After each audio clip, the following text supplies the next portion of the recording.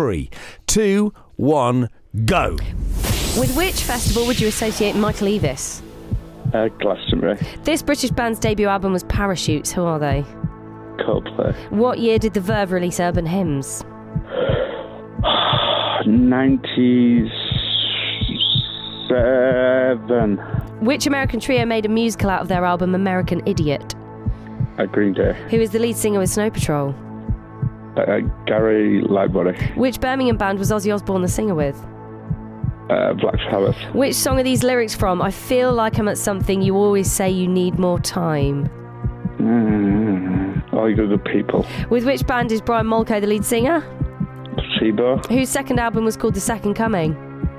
Uh, Stone Roses. Which band released the albums Revolver and Rubber Soul? Beatles.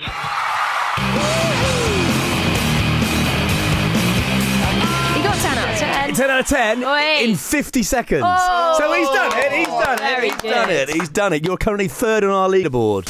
Virgin Breakfast with Sam and Amy.